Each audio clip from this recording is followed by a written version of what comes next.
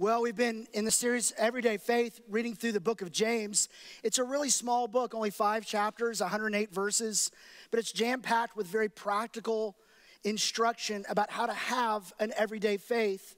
Because we want to grow in everyday faith because faith will be needed every day. Every day has challenges that are going to test us, they're going to challenge us, they're going to show up in our lives unannounced, uninvited, but never without purpose. And James tells us how we can grow in everyday faith because our faith should show up every day on a Monday. In your everyday moments, it should show up. And James is writing to these followers of Jesus who were scattered and facing very difficult times. And this week, I want to talk about your faith, how it affects you. And next week, we're going to talk about how our faith works together to have an everyday faith in this thing we call the church. Uh, but today, let's, let's talk about your faith. But let's think about your situation. I want you to think about a couple questions. Where in your life right now is something very, very challenging? See if you can bring something to mind. For some of you, that's pretty easy. You knew it right away. What's very, very challenging right now? Where are you in a season of waiting? Where is it that you're waiting for something and it's difficult and maybe uncertain? Where are you waiting? And then in that difficulty and in that uncertainty and in the season of waiting, is there an area of your life where you're losing heart? Like it's just hard to maybe get up. It's hard to take the next step. It's it's when something goes wrong, you hang your head like here we go again. Like where is it that you're losing heart? And it can affect a lot of different areas for us. Usually one of the big common areas for many of us it's it's relationships there's a relationship there and it's not going well. Or, or there's not a relationship there and we want there to be one. Or there, there, there's a relationship that was there and now there's a, a split, there's a conflict. Like it's just not what it was. Maybe it's um, a, a parenting relationship where kids have, have wandered or kids are challenging. Maybe, for, maybe it's a parents deal where the parents have wandered or the parents are challenging. Maybe it's something at school or something at work, and there's just a relational challenge there that you feel like you're in this difficult season, and you're waiting for something to change in your relational world, and it's not changing. The other big one is our financial world. Maybe you're in a season of waiting to kind of finally dig out of this pit of debt that you're in. Maybe there's some new challenges that you didn't expect, you didn't even invite, but they showed up, and financially, you're not sure how you're going to make it. Maybe it's looking for a new job or trying to figure out how to handle something that you just didn't expect. Emotionally, we find ourselves in those seasons that are really challenging and difficult where we're waiting, and maybe it's a season of loneliness or a season of pain. Maybe it's in your physical world. You went to the doctor and you thought everything was going to be fine, and they said it's not fine. And it was shocking. Maybe it's not your physical world, maybe it's somebody else's physical world, that there's someone in your life that's navigating something physically and it's effect, impacting them, and you feel that for them and you want to do something, but what can you do? There's all these different areas in our life. Maybe you've been, you're wanting to have a family, but it's a season of God just hasn't moved that forward yet. It's a season of infertility. Maybe it's a season of a lot of conflict with someone and you're ready for just peace. Maybe it's an overall situation with the world where you're ready for the world to kind of move on and kind of, can we get over this and just kind of get along? Like, I don't know what it is for you, but we find ourselves in seasons that are challenging and we find ourselves waiting. And James's theme uh, uh, of his letter to people who are in a situation that wasn't all that different than ours, dealing with all of those challenges and then some, was keep going like, keep going, keep taking that next step. Don't get stuck. Keep going and keep growing. Following faithfully means living out your faith every day. And he uses a word at the beginning of his letter called, and he uses the word perseverance, the ability to keep going when you don't want to keep going. And then he uses another word that a lot of us, it's not our favorite word. He says, This is how you persevere. And he uses the word patience. like, what do they say? Patience is a virtue. And like I would finish that, patience is a virtue that none of us want. like I don't want to have a reason to have patience. And being patient is never fun. Like you hear the word patience and you're like, oh. But here's what James says this is how he tells us to handle those seasons be patient. I don't want to be patient. But this is what's going to be required of us. So, how do we grow patience? How do we develop? And what does it actually look like? And he says, Be patient then, brothers and sisters. Well, what does the then mean? Everything he just said. And the thing he just talked about right before this is there was a huge issue in these gatherings of believers where people who had money were looking down on people who didn't have money. If you had money, you were given special privilege. If you didn't have money, you were kind of written off. And there were all these kind of socioeconomic challenges going on. But really, if you think about everything he's written up to this point, keep going, keep growing. You know, care for one another. Don't speak bad against each other. Uh, all these things. And he says, whatever you face, whether it be how you keep going, how you handle temptation, how you handle wisdom, when, what do you do when you don't know what to do? How do you handle conflict with others and, and valuing others? Like all these things are things that require us to be patient in the process. And he says, Be patient then until the Lord's coming. You know what we do? I'll be patient until my problem is solved. And he doesn't say that. This is incredibly important for you. And it's, it, you know, I'll be honest, it may be discouraging for you. Our focus is I want to be patient till my story is figured out whether it be a relational deal, a financial deal, a physical deal, whatever it is. And James says, Your story is too small a thing to live for. You were created to live for something more. And Jesus tells us, like, die to self. For, you know, lay down your plans. And we think we're losing something. We've said that several times in this series. But James says, no, this is the deal. The Lord's coming. This is what we should look forward to. And a lot of us hear that and go, well, that's just when time's up. No, actually, that's when the kingdom begins in its fullness. Like there's no more sin and brokenness in the world. All the things that are causing all those things that we're having to patiently wait through, Jesus says, I'm going to resolve it when I return. And in the meantime, I'm trying to reach as many as possible to invite them into my family and my kingdom. So on that day, I want to include as many as possible. Who wants in? And basically, what he says is, Your story matters. What you're going through matters. Cast your cares upon him. You matter. Your problems matter. But that's not the point of the story. You're invited into the story of your Creator to live as a child of God in the kingdom of God, on the mission of God. And the problem is, I care more about what I'm going through today than what He's promised to do someday and even what he's doing today. There's something challenging that James is inviting us to think bigger than our lives. Folk, be patient, not until your problem is over, but until Jesus says, Well done. You've run a good race. And he gives us three examples of what being patient looks like. And the first one is a farmer. I grew up in a little town outside of Fort Worth called Dallas. And we didn't have, I didn't have a lot of exposure to farms. So, I, you know, they didn't, I don't, as far as I know, my high school didn't have Future Farmers of America or 4 H. That's a thing, right? 4 H? Am I getting that right? Okay. Uh, like, I, am sorry, I, I, I didn't have that. Like, I've not been, I'm city folk. So, so farming, like I, he says farmer to me, and I'm not sure if I get it. It may click with you. It clicked with them, like they get it. But most of us, I mean, I, have known a few farmers in my life, like Old McDonald. I knew him, and and uh, that's about it. So so he he gives the example of a farmer. So think about a farmer of what it likes to be patient until Jesus comes back. Okay, this is what he says. See how the farmer waits for the land to yield its valuable crop patiently waiting. Now, most of us, when we go, hey, what is your biggest hope for the next week, the next year, the next season of life? I hope I get to have a season of patiently waiting. None of us look forward to that. But this is a necessary season if God's gonna grow what He wants to grow in your life, in the world, and in for eternity.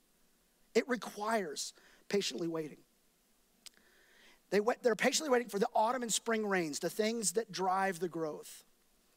You too, like a farmer, be patient and stand firm. He says it again because the Lord's coming is near. Isn't it interesting? These are people that are suffering. And he doesn't say, until your suffering is over. The reality is, and most of us have lived enough life to experience that, my biggest problem today, once it's gone, there's somebody else on deck warming up, ready to step in and be another challenge. That's what this world is going to be. It is a broken and fallen world that Jesus wants to step in and redeem for something bigger that will last forever. And the challenge for us is we devalue eternity in light of what we're going through. And that's what pain does. It turns us inward. It needs to be paid attention to, but it can do some very selfish things for our lives. So he gives the example of farming. So if you're in a season of patiently waiting, which at some point you, we all will be, we all need to be, let me ask you some questions to think like a farmer. Because again, I'm not a farmer, I, I've never been one. I don't foresee that in my future. If that's the case, we will not be well fed.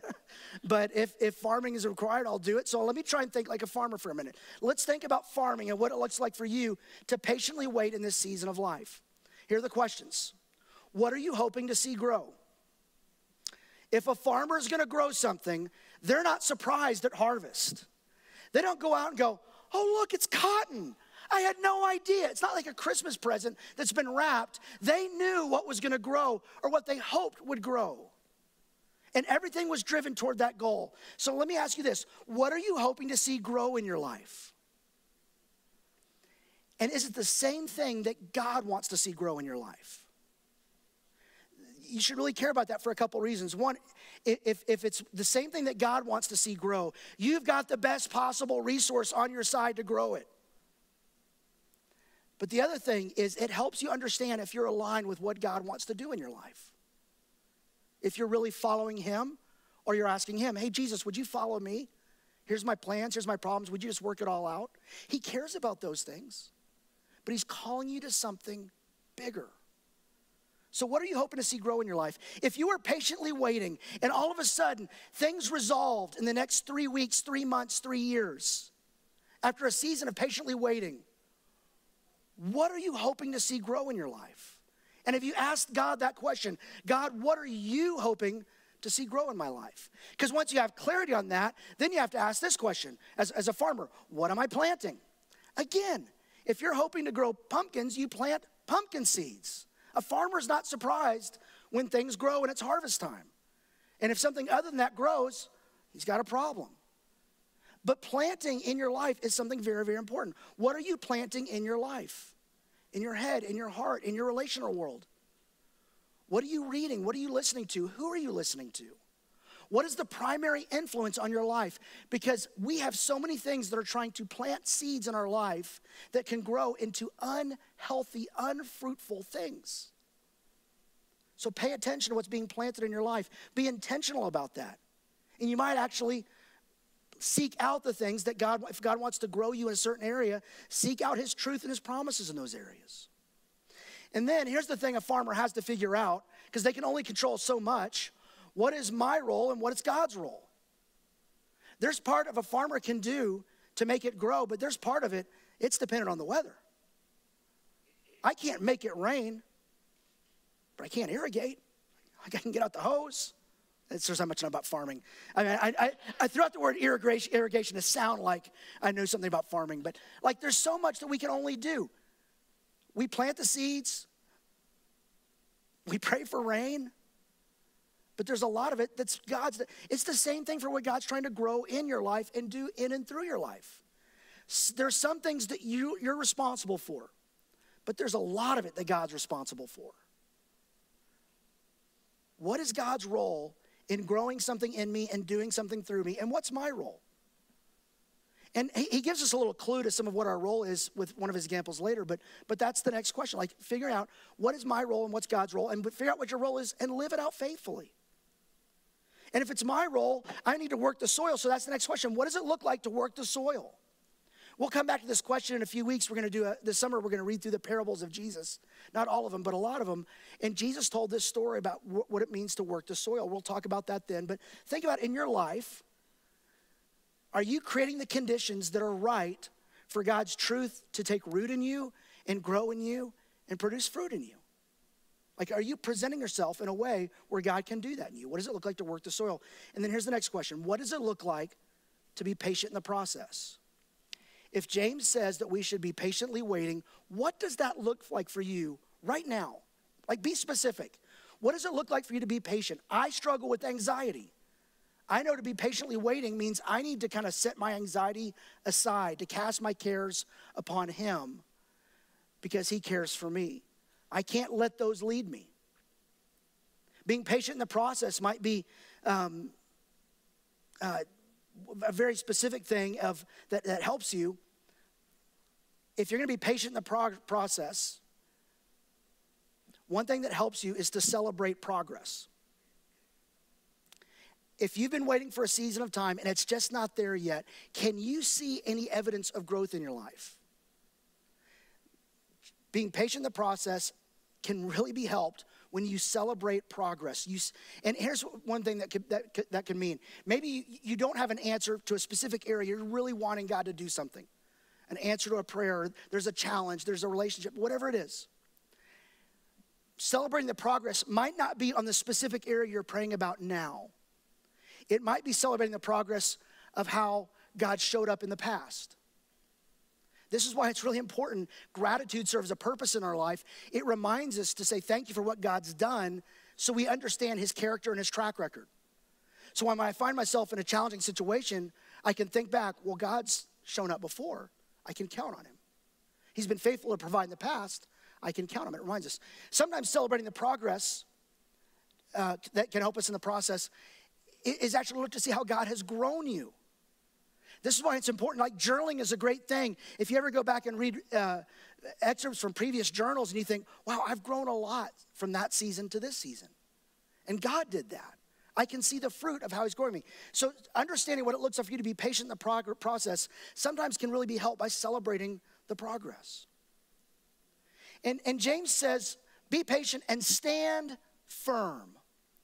And sometimes when we hear that, we think that says, stand still. That's not what it's saying. Stand firm is what are you anchored in? What are you rooted in? But patience is not inactive. Patiently waiting is not passively waiting.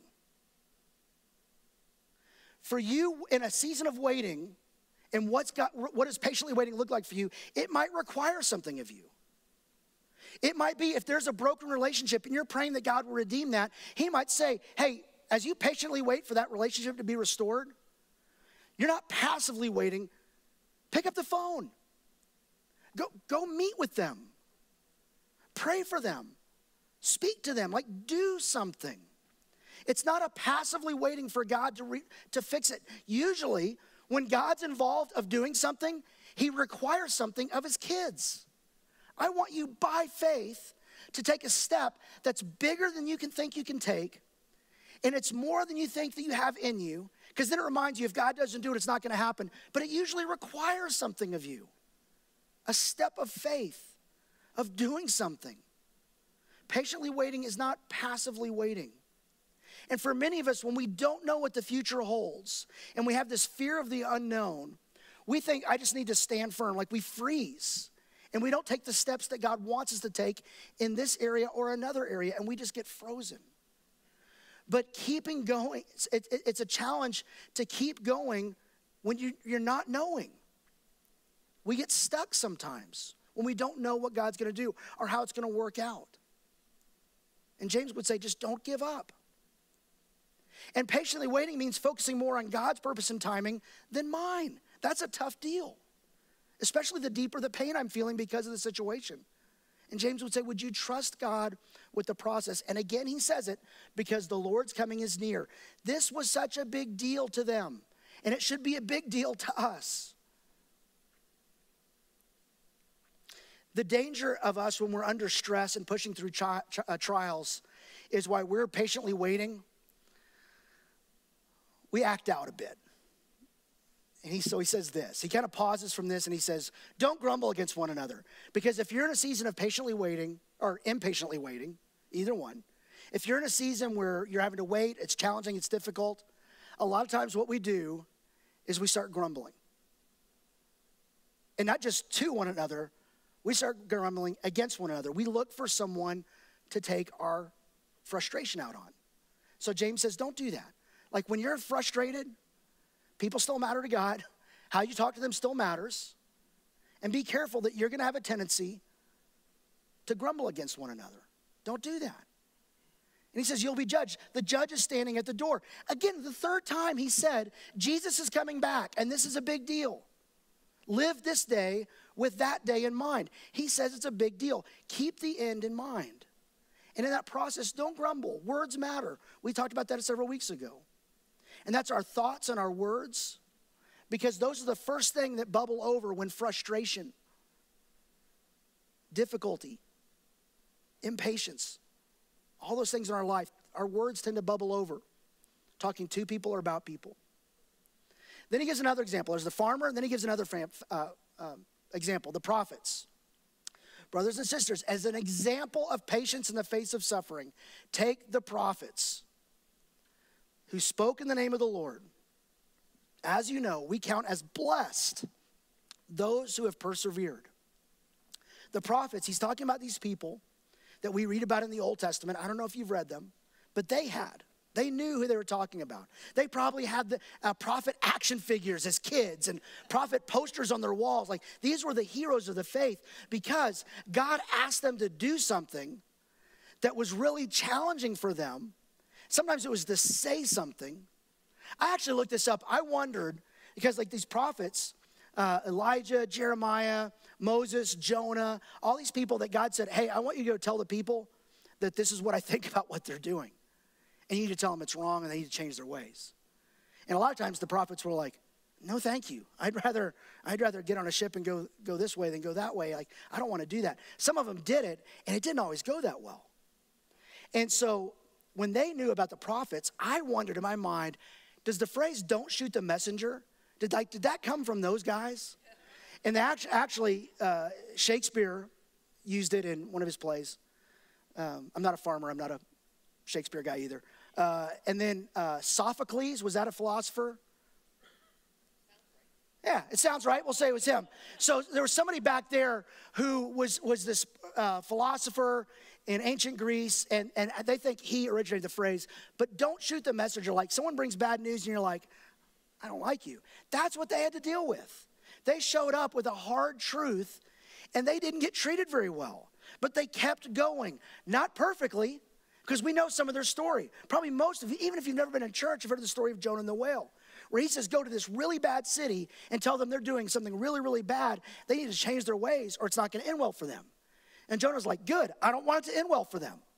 So he actually runs the other way, and then God brings him back. He kind of goes and he kind of half heartedly tells them to turn, change their ways, hoping that they don't. Then they do, and then Jonah's actually mad that they, they, they repent. And he actually was wanting to see the destruction of the city. Like he did not do it perfectly, but he did it. And he took a step. Moses, he, he, he was told to go do something. He's like, I'm not the guy. I can't do it. He doubted along the way. He made tons of mistakes, but God still used him. We're not going to do this perfectly. But there is something about we have in common with the prophets that God asked of you as well. That they were faithful to do what God wanted them to do and say what God wanted them to say, and it often cost them something. This is true for us too. God will often ask you to do something and say something that will cost you something. And that's where patiently waiting turns into standing still. Not standing firm, rooted in the, the path that God wants me to take, but standing still like, I don't want to move forward. I don't want to do it. And we miss out on something. Earlier in James, he had talked about in James 1 2, you can go back and read this, but he says, Consider it pure joy when you face trials of many kinds. We talked about that the first week. I don't consider it that way. But James said you should. And he said, Why? In verse 3, because it's doing something. God's using that to do something in you. And then he says in verse 12 that if you persevere, if you keep going, you're blessed. That God will honor you. He will bless you.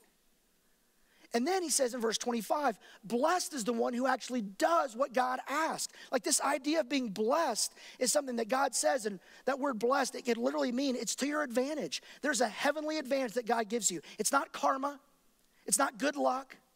It doesn't mean go buy a couple scratchers and see if you win the lottery. It doesn't mean you can have green lights all the way to work. There is some, there's a heavenly advantage that God says it is unique for you when you do what I say.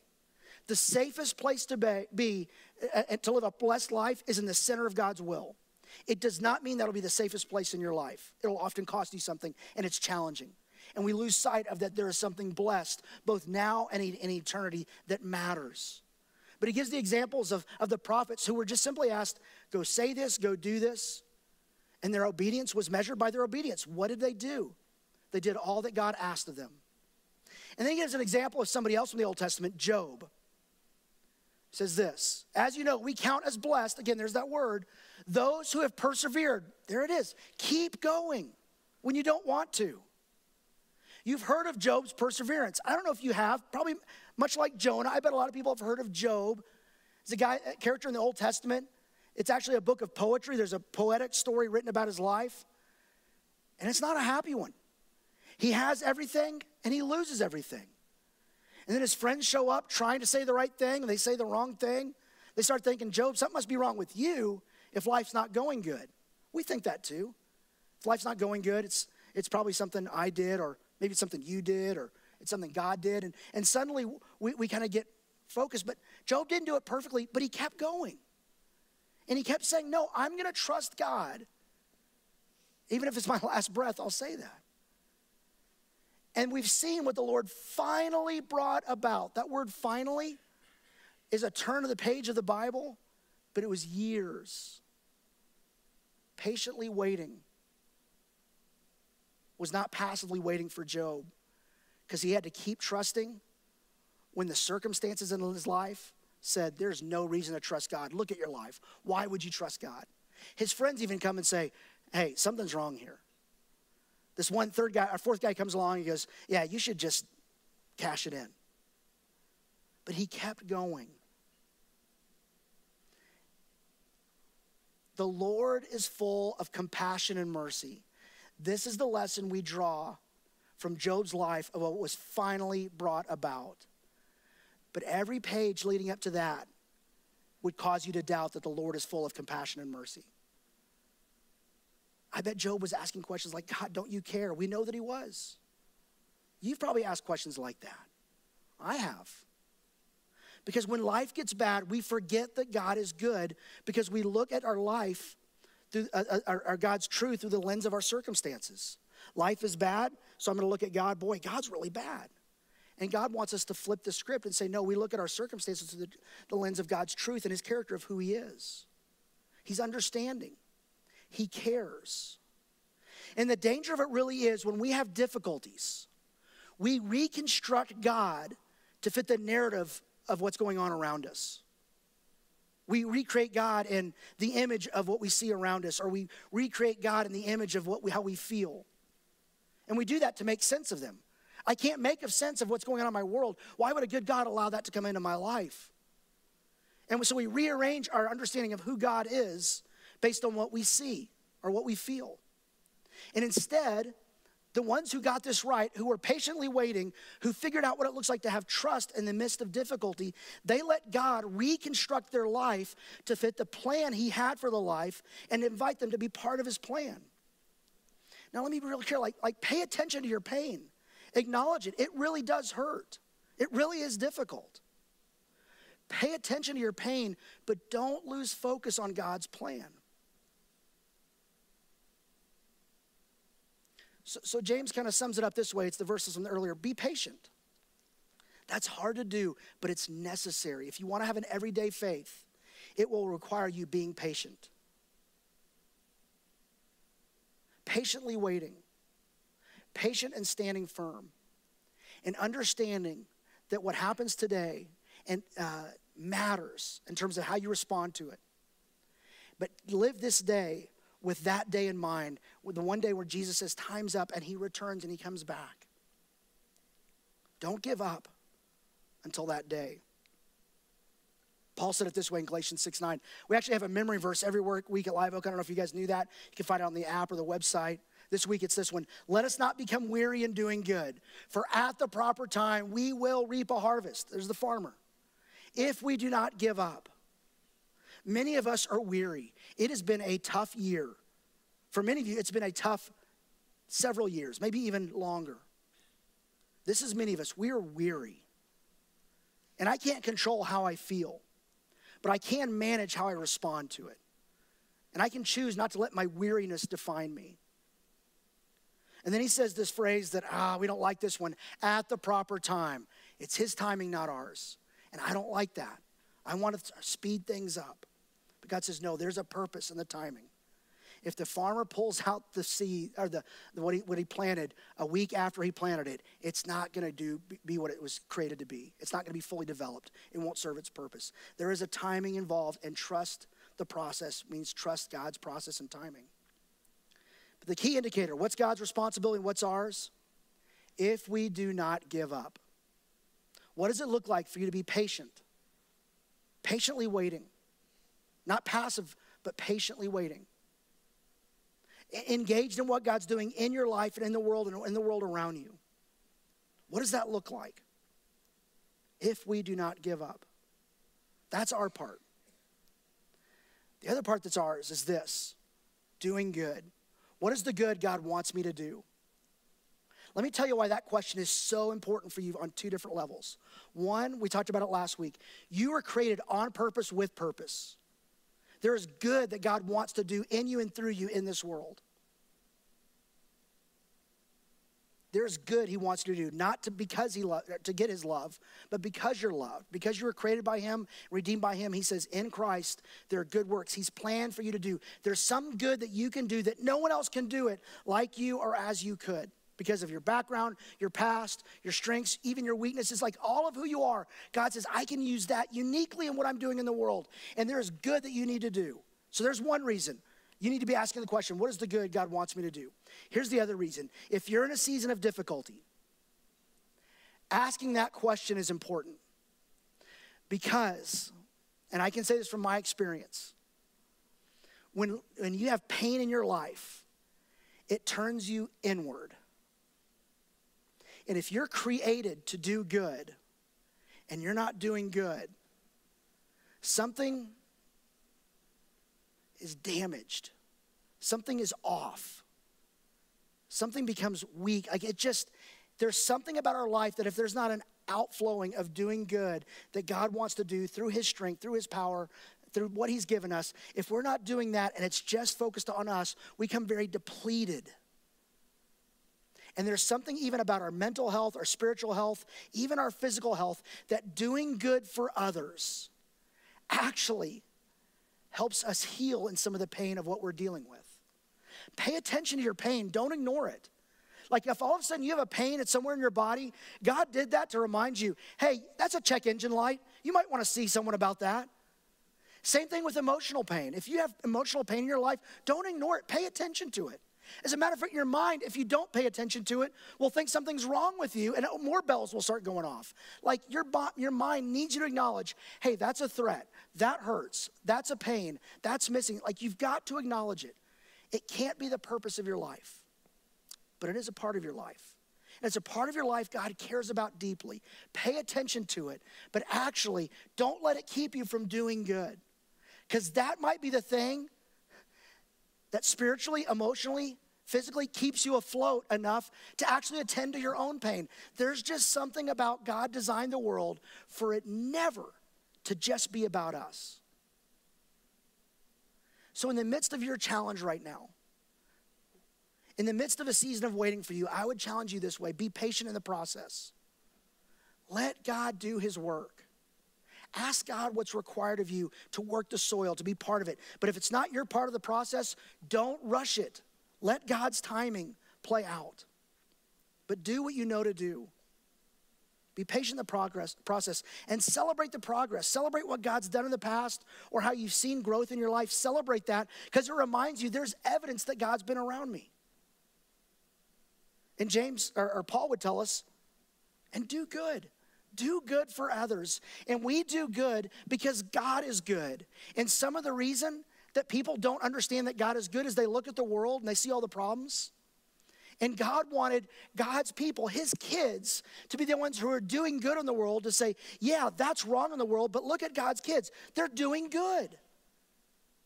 It, how we do good in this world reflects on our Heavenly Father to let them know that God is good. God is good is the thing we're likely to forget when life gets challenging or God seems slow. But be patient in the process. And when you live with that truth in mind and live as if it's true, it changes the way we see the world, we see God, we see ourselves, we see others. Let's pray together. And actually, as we pray, I want to pray specifically for those who are in a really difficult season.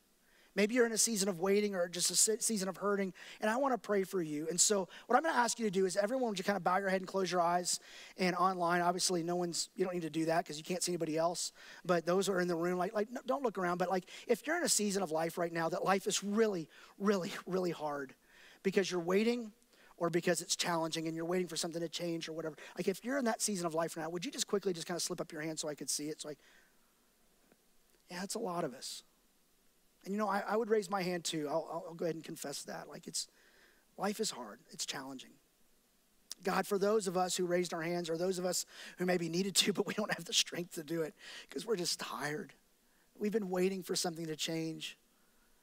We've been looking for something to show up or something to leave, someone to show up, someone to leave. God, God, for many of us, we're in a difficult season. Thank you that you're right in the middle of that. You told us in, in, the book of Psalms that the Lord is close to the brokenhearted. So I know that you're close to each and every one of these situations. But when the situation gets really, really dark, we can't always see you that well. Help us to, to remember your track record of your faithfulness. Help us to remember your character. Help us to be patient in the process, to figure out what, what, what does it look like for me to be patient in this season of waiting.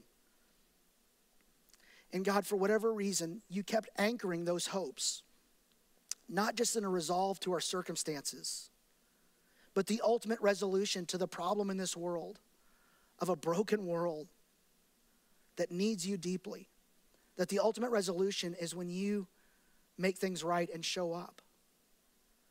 And that's just some, not something we can just hope that's there after we die. It's a reality we should live with every day. God, I pray for strength for those who are weak and weary. I pray for provision for those who are in need. I pray for help for those who are feeling helpless. And God, I pray that you would teach us to patiently wait, not passively wait, to stand firm, not stand still, but to keep going and keep growing and do the good that you designed for us to do. It's in Jesus' name I pray. Amen. Hey, next week we're going to wrap up Everyday Faith, and it's going to be a family Sunday. So kindergarten through fifth grade will be in here.